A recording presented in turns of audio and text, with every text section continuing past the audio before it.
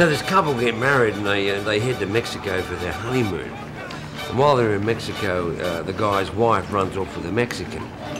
The husband's devastated, so he decides to go after them and hunt them down. So he goes to every city in Mexico looking for this guy that he knows is named Pedro. Anyway, he finally, he finally gets to this very last town. And he walks in the bar and he says, Does anyone here know Pedro? He's with a white, blonde, gorgeous woman. Pedro, that's all I know. His name's Pedro. And this guy in the back said, Si, senor. I know this man called Pedro. He said, You know him? He said, Si, senor. One day, I was riding in the hills when all of a sudden, from out behind the rocks comes Pedro on his horse. Aliba, Aliba, Aliba! He says to me, Get off your horse.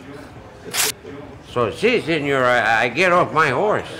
He says, Lift up the horse's tail. So, si, senor, I, I lift up the horse's tail. And the horse did crap on the ground. He says to me, Eat the horse's crap.